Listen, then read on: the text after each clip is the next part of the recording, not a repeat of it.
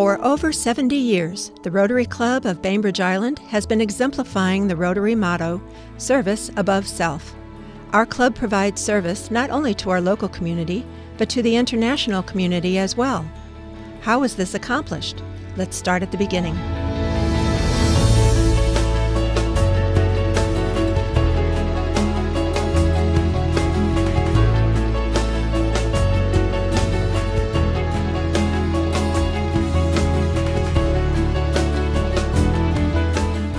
Club was founded in 1947.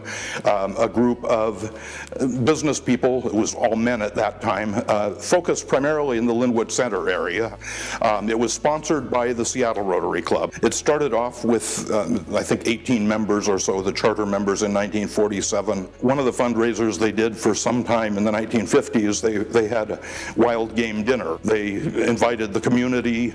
Um, it was a fairly dress-up affair in the sense of suits and ties and so on, inviting the whole family. One of the projects that they had in the 1940s, for several years, Rotary operated the recreation center at Fort Ward. It had a bowling alley there. The Rotary Field was a, a big project in the 1950s.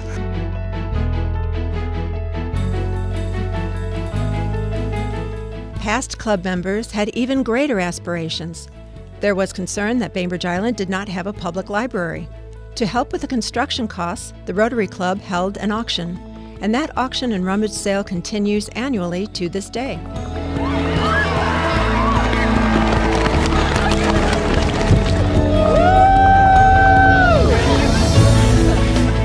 The first auction generated $5,000 and it was just a, you know, probably a relatively small event and it took years and years for that event to grow to what it is today. Everything we sell is donated, and there are hundreds of thousands of things that are for sale at the Rotary auction, and they range in size from thimbles to automobiles and large boats, and everything in between.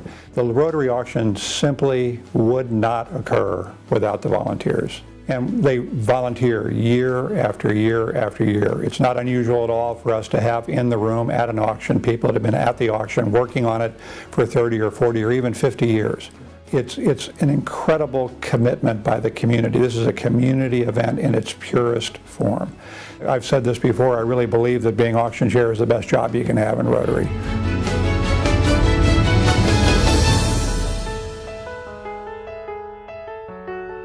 We can see why the auction has become a Bainbridge Island iconic event and one of the most highly anticipated events on Bainbridge each summer. But if the raised funds are not used for club operations, where does the money go?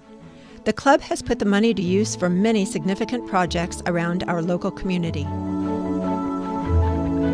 Well, I totally agree with the concept of attempting to retain uh, a large amount of money for a major project. I've seen how successful that can be at something like the Waypoint. We have a list of about six $100,000 projects, including the ball fields and this library. When the library was a gleam in somebody's eye, uh, they decided, uh, Rotary decided to help out and purchase the land.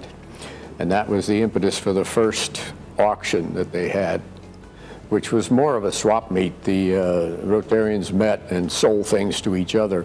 And then uh, years later, uh, the original building was expanded and most recently has been upgraded uh, to a better meeting room uh, for community meetings and audiovisual work and Rotary Uni Committee has been involved in each of those steps in a major way.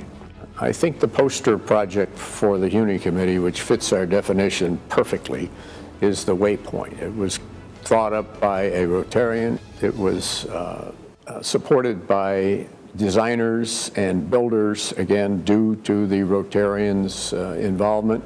We actually helped do some of the work, and I think it's a wonderful addition to the community. I think the Rotary Club of Bainbridge Island has a very, very bright future. In addition to funding significant projects, proceeds from the Rotary auction also help support other local nonprofit organizations serving Bainbridge Island and Greater North Kitsap County. Community Grants Committee uh, is what we would categorize as a small grants committee.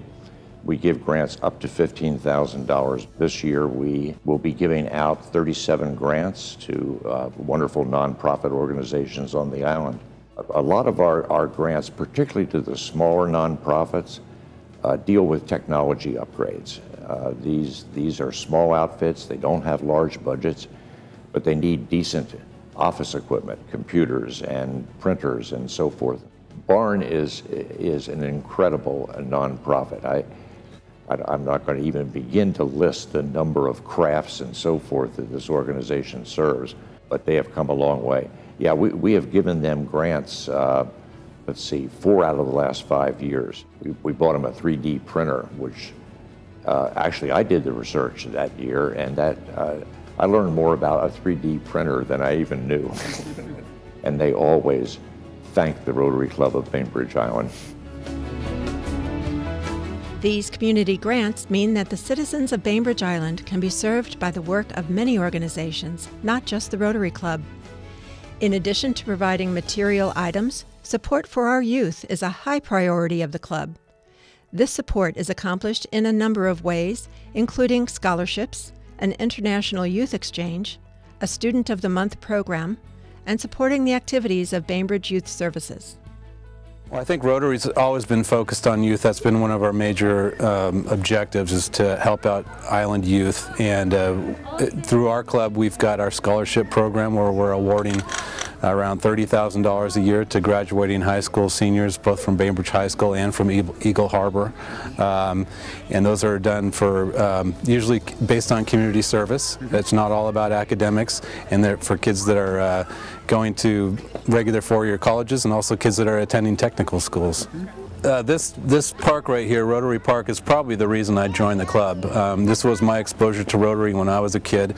By uh, the 2000s, this was kind of a rundown spot. Uh, the bathrooms didn't work well.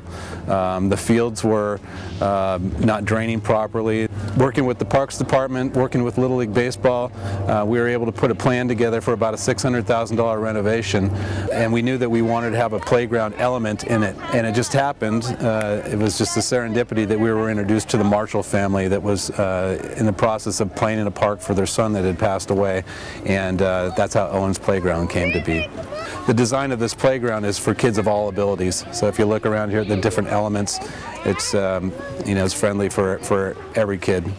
Our club has done a really good job of making sure that uh, we we fund projects that are going to benefit the most people. Uh, and uh, we put our focus here on the island, but we also have international projects. The youth services support, grants, and the many projects we have described benefit citizens on Bainbridge Island and in North Kitsap County. But the Rotary Club of Bainbridge Island also supports humanitarian projects in other countries. In about uh, 1998, our club set aside a little bit of money every year in order to do an international project. We didn't have one in mind, but we thought it would be a good idea. And then we learned about an area in Uganda that needed some help with literacy. So we put together a little project, maybe $800 total on some booklets for a school. When we got there, we discovered a school that had no source of clean water. And so I came back and talked our club into the $6,000 necessary for a borehole for that community. When I went back the following year to dedicate that borehole, I learned there were 80 other villages that also had the same problem. But then I learned about Rotary grants, and little by little, we not only constructed the 80 boreholes in 80 individual villages, but expanded that to 191 villages in northeastern Uganda. WCS is an amazing part of Rotary and that we are able to do so much. It's interesting that the Rotary Club of Bainbridge Island has contributed about a little over a million dollars to our Rotary Foundation. Well, many of the hospitals in Central America are poorly equipped and so a team of Bainbridge Island Rotarians along with other Rotarians have gone to Central America and helped them uh, acquire the types of medical equipment that will make their jobs much easier. Definitely there are a lot of needs there. There are great needs throughout the world.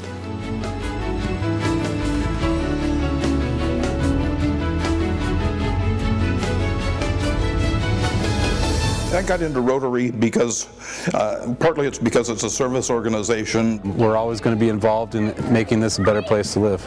We have people working in so many different areas, which is what a Rotary Club should be.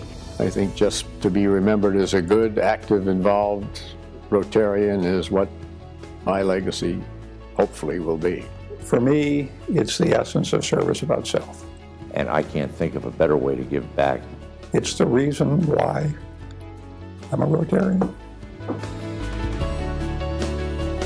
The Rotary Club of Bainbridge Island has a rich history of service above self to our local community and to the global community as well.